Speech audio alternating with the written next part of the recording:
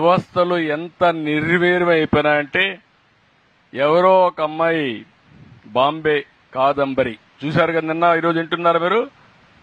వింటున్నారా? ఆ అమ్మాయి సినిమా యాక్ట్రెస్ కూడా. ఆ అమ్మాయిని పట్టుకొచ్చి దొంగ సంతకాలు దొంగ పుస్తకం రాసి ఫోర్జరీ చేసినటువంటి డాక్యుమెంట్స్ తయారు చేసి దొంగతనంగా ఆవిడ పెట్టి ఆవిడ్ని ఇక్కడ అరెస్ట్ చేసి ఇక్కడ కస్టడీలో పెట్టే పరిస్థితికి వచ్చారు. అంటే పోలీసులు ఎవరైతే ప్రజల ప్రాణాలు కాపాడవలసిన పోలీసులే ఇలాంటి పనులు చేస్తే ఇంకా రక్షణ ఎవరుకుంటుందని అడుగుతున్నా. ఇలాంటి చాలా సంఘటనలు జరిగాయి. అందుకే మీరందరూ గుర్తుపెట్టుకోవాల్సిన అవసరం ఉంది. భవిష్యత్తులో ఒకటే మీ అందరికి హామీ ఇస్తున్నాం. మీరందరూ మేము మీ భవిష్యత్తు కోసం పనిచేస్తున్నాం. రాష్ట్ర భవిష్యత్తు కోసం పనిచేస్తున్నాం. ఈ యొక్క చెట్లు పెట్టే కార్యక్రమం ఒక ఉద్యమంగా మనం ముందుకు తీసుకుపోవాల్సిన అవసరం ఉంది. దీనికోసమే ఈరోజు మేము చెప్పినట్టు ఎక్కడ చూసినా యాభై పర్సెంట్ పచ్చదనం ఉండేట్టుగా చూస్తాం. నదుల అనుసంధానం చేసి ఎక్కడికక్కడ కరువు అనే మాట లేకుండా పూర్తిగా ప్రతి ఎకరాకు నీళ్ళిచ్చే బాధ్యత పోలవరాన్ని పూర్తి చేసే బాధ్యత తీసుకుంటాం. ఈ సంవత్సరం మీరు చూస్తే మంచి వర్షాలు పడ్డాయి. ఎక్కడ చూసినా రిజర్వాయర్స్ అన్ని కళకళలాడుతున్నాయి. ఇది శుభ సూచకం. మీ భవిష్యత్తుకు మార్పుకి మొదలు మెట్టు అని చెప్పి కూడా నేను మీ అందరికీ తెలియజేస్తున్నా. అక్కడి నుంచి ప్రారంభిస్తున్నాం. ఇంకొక పక్కన ఒకప్పుడు కరెంట్ అనేది ఎక్కడో ఉత్పత్తి చేసి వస్తే ఇప్పుడు మీ స్కూల్లోనే కరెంట్ ఉత్పత్తి చేసుకోవచ్చు. మీ ఇంట్లో కరెంటు తయారు చేసుకోవచ్చు. మీ పొలంలో కరెంటు తయారు చేసుకోవచ్చు. సోలార్ ప్యానెల్స్ పెట్టుకుంటే మీరు అక్కడనే తయారు చేసుకుంటారు. కడాన మీరు కరెంటు తయారు చేసుకోవడమే కాదు స్కూలుకు పోవాలంటే స్కూల్ బస్సు కూడా అవసరం లే. మీరు స్కూటర్ కొనుక్కుంటే సైకిల్ కొనుక్కుంటే ఇంట్లో ఛార్జ్ చేసుకుని సైకిల్ కూడా దొక్కే పని లేకుండా మీరు స్కూలుకు పోయి మళ్ళా వచ్చే పరిస్థితి వస్తుంది. మార్పులు ఎంత వస్తున్నాయో మీరు పిల్లలు మీరు గుర్తుపెట్టుకోవాలి. ఒక విధంగా మీరు అదృష్టవంతులు మాకంటే మేము చిన్నప్పుడు స్కూల్కి పోవాలంటే నడిచిపోయేవాళ్ళం ఆరు కిలోమీటర్లు. ఈరోజు మీరు ఏది కావాలన్నది వచ్చే పరిస్థితి వస్తుంది. ఇంకా భవిష్యత్తులో ఇంకా అనేకమైన మార్పులు వస్తాయి. మేము అందుకే ఆలోచిస్తున్నాం. సోలార్ విండ్ అదే మరి పంప్డ్ ఎనర్జీ ఇవన్నీ పెట్టి ఏ మాత్రం కూడా పొల్యూషన్ లేని కరెంట్ని గ్రీన్ కరెంట్ని తయారు చేసే పరిస్థితి వస్తుంది. తద్వారా గ్రీన్ హైడ్రోజన్ కూడా వస్తుంది. దీనివల్ల మీకు ఉద్యోగాలు వస్తాయి రాష్ట్రానికి సంపద వస్తుంది. ఇంకొక పక్క ఖనిజ సంపద ఎవరిని దొయనీయం ఇసుక ఫ్రీగా ఇస్తాం. ఇంకొక పక్కన మీరు చూస్తే ఏవైతే పరిశ్రమలన్నీ ఈ యొక్క ఖనిజ సంపదతో మనం తయారు చేసుకునే పరిస్థితి వస్తుంది. కడాన నేను ఒకటే మిమ్మల్ని అడుగుతున్నా. సమాజం అంటే జీవ వైవిధ్యం ఉండాలి. దేశం అంటే అడవులు జంతువులు పక్షులు జలవనరులు అన్నీ కలిస్తేనే ఈ యొక్క సమతుల్యం ఉంటుంది. గాలి లేకపోతే మానవ మనుగడే లేదు. చెట్టు లేకపోతే జీవరాశుల చరిత్రే ఉండదు. ఈ విషయం మీరు గుర్తుపెట్టుకోవాలి. ఈ రెండు కాపాడుకోకపోతే మనం మనుషులమే కాదు. మన భవిష్యత్తు కోసం మనం ఆలోచించాల్సింది పర్యావరణ సమతుల్యం కోసం పాటుపడాలి అప్పుడే భవిష్యత్తు ఉంటుందని చెప్పి కూడా నేను మీకు తెలియజేస్తున్నా.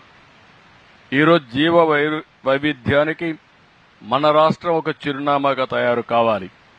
పదమూడు వన్యప్రాణ సంరక్షణ కేంద్రాలు మూడు నేషనల్ పార్కులు రెండు జూలాజికల్ పార్కులు ఒక టైగర్ పార్కు ఇంకో శాంక్చురీ ఇంకొక పక్క ఒక ఎలిఫెంట్ శాంక్చురీ ఇవన్నీ వచ్చే అవకాశాలు ఉన్నాయి ఇంకొక పక్క మీరు నాగార్జున సాగర్ శ్రీశైలం దగ్గర ఐదు వేల మూడు వందల ఎకరాల్లో దేశంలోనే అతిపెద్ద టైగర్ శాంక్చురీ వస్తుంది. ఎనభై పులులు ఉన్నాయి. కాబట్టి మీరు ఎప్పుడన్నా పులులు చూడాలంటే నేరుగా నాగార్ సాగర్ పోతే పవన్ కళ్యాణ్ గారిని ఒకసారి తలుచుకుంటే పులుల దర్శనం చేసుకొని మీరు రావచ్చు. అలాంటి సఫారీ తయారు చేస్తున్నాం. పెద్ద నాయకులు పేర్లు ఎవరబ్బా ఆయన? అదే ఇంకా ఈనాడు రాస్తున్నారు ఈనాడు ఆంధ్రజ్యోతిలో. ఎవరు మా సజ్జల రామకృష్ణారెడ్డి గారి పేరు రాస్తున్నారు. కాదంబరి నరేంద్ర కుమార్ జత్వాని అంటామే. ఆ కథ ఏంటో నాకు అర్థం కాల. మొత్తం ఈనాడు ఆంధ్రజ్యోతి తెలుగుదేశం.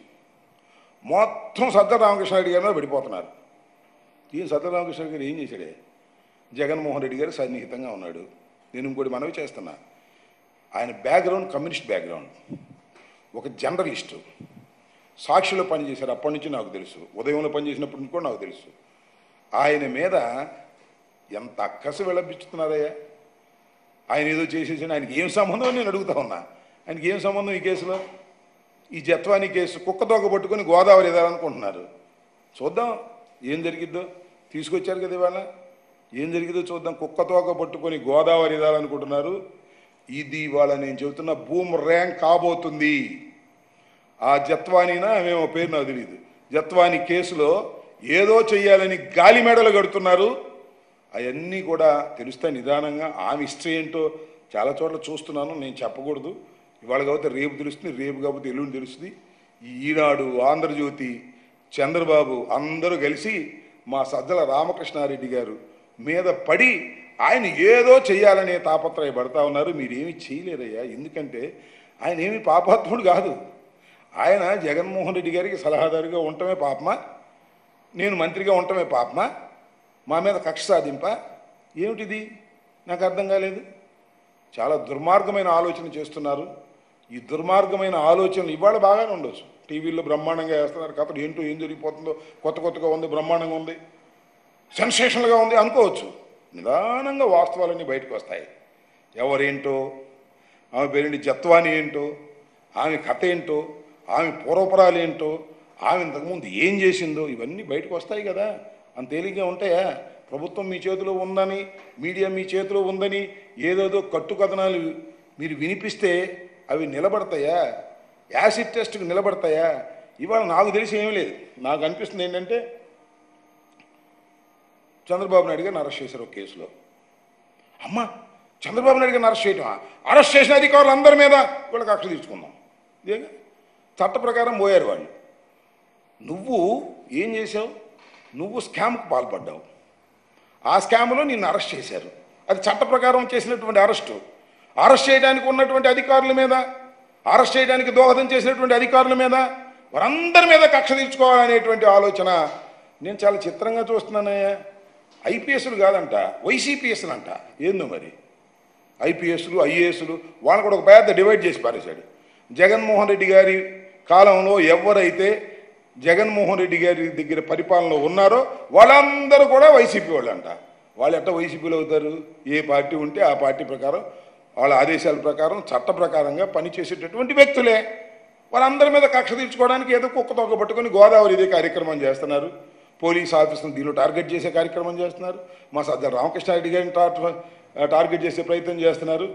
ఇలాంటి ఉడత ఊపులకి ఏం భయపడమని కూడా ఈ సందర్భంగా నేను చెప్పదలుచుకున్నాను.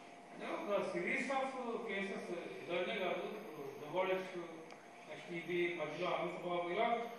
నేతలు అందరూ ఏముంది ఇప్పుడు దువ్వాడ సీను అనంతబాబు లేకపోతే నా మీద పెట్టిన కేసు నా మీద పెట్టిన ఎన్ని ఏంటి నాకు అర్థం కాల? గాలిలో బీగడం తప్ప ఏమైనా ఉందా? దువ్వాడ సీన్యం అందరికి తెలిసిన విషయమే కదా. ఏం లేదు. పాత కేసులు తవ్వటం దానిలో కూడా పెట్టడం ఆ బాలకృష్ణ కాల్పులు కేసు కూడా తవ్వుతారేమో నాకు అర్థం కాల మరి. ఇవాళ నాకు అవనగడ్డలో డాక్టర్ శ్రీహర్రావు అని మాకు కూడా బాగా తెలుసు. ఆయన పాపం చనిపోయాడు. ఆ కేసులో సింహాద్రి రమేష్ను పెట్టాలని ఇప్పుడు మళ్ళీ సిఐడికి ఇచ్చారు. అంటే పాత కేసులు తవ్వి దానిలో ఎవరినో ఇతికించాలని. ఇదంతా ఒక ఓ గెలిచిన ఉత్సాహంలో కళ్ళు బైర్లు గమ్మి పోలీసులు వాళ్ళు చెప్పినట్టు ఇంటారేమోననే ఉద్దేశంతో కేసులు పెట్టేటటువంటి కార్యక్రమం రోపలు పెట్టేటటువంటి కార్యక్రమం చేస్తున్నారు ఇవాళ మా ఎమ్మెల్యేలను టార్గెట్ చేశారు కదా మా పిల్లల రామకృష్ణారెడ్డిని రోపలు పెట్టారు. ఆ కేసు ఏంటో తెలుసా మీకు అసలు? అసలు గాయం లేదు త్రీ నాట్ సెవెన్ ఎదుటివాడికి గాయం లేదు. కేసు కూడా ఎప్పుడు పెట్టారు? సంఘటన జరిగిన పది రోజులు కేసు రిజిస్టర్ చేశారు. ఆ కేసులు ఈయన పెట్టారు. సుమారుగా రెండు నెలల పైచులకు ఆయన్ని రోప నుంచేటటువంటి కార్యక్రమం చేశారు. మేనేజ్మెంట్ అంటే ఏ విధంగా మేనేజ్మెంట్ సీడీ పంపరు ఇన్వెస్టిగేషన్ అంటారు. పర్సన్ పిలవాలి ఆయన కష్టలోకి తీసుకోవాలంటారు. ఇట్లా డ్రాగ్ అండ్ డ్రాగ్ అని చేసి ఆయన అరెస్ట్ చేసేటువంటి పద్ధతి. అలాగే మన రమేష్ వాళ్ళ అబ్బాయిని రాజువుని రోపలు పెట్టే కార్యక్రమం. అదేవిధంగా తెలుగుదేశం ఆఫీస్ మీద జరిగిన దాడిలో ఇప్పుడు కొత్తగా కొంతమందిని చేర్చడం అప్పిరెడ్డిని వాళ్ళని చేర్చడం వాళ్ళ మీద యాక్షన్ తీసుకునే కార్యక్రమం.